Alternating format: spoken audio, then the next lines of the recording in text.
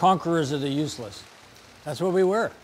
We had no set itinerary. We'd spend 250 days a year sleeping in a sleeping bag somewhere in the mountains somewhere or on a beach in Mexico, whatever. And then, you know, you'd steal fruit off of trees and killing porcupines and ground squirrels and getting a little protein that way. You've had a whole life in the outdoors, you realize that you have a sense of responsibility to protect these wild places.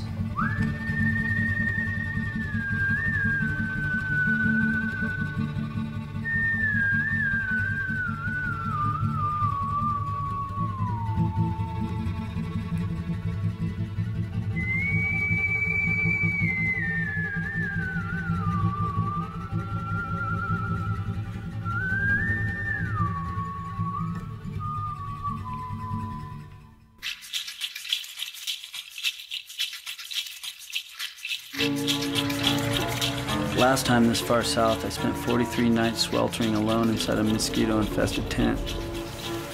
After a long flat spell, some expats dragged me to a whorehouse in the middle of the desert. We had mescal for breakfast. Got sick for a week because of bad river water. But man, I love this place.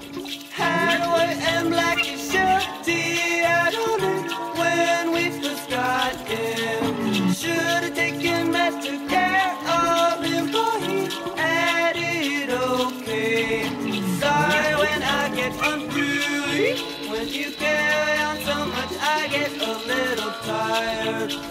Hope you get over your